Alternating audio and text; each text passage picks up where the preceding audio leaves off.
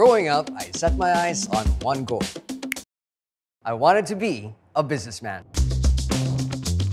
So when I earned enough from my day job, I was set on getting my first franchise business.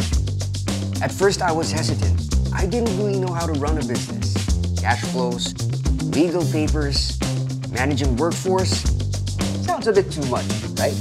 But I didn't really need to worry about all of those things. In reality, I just check on my franchise business and everything has already been taken care of.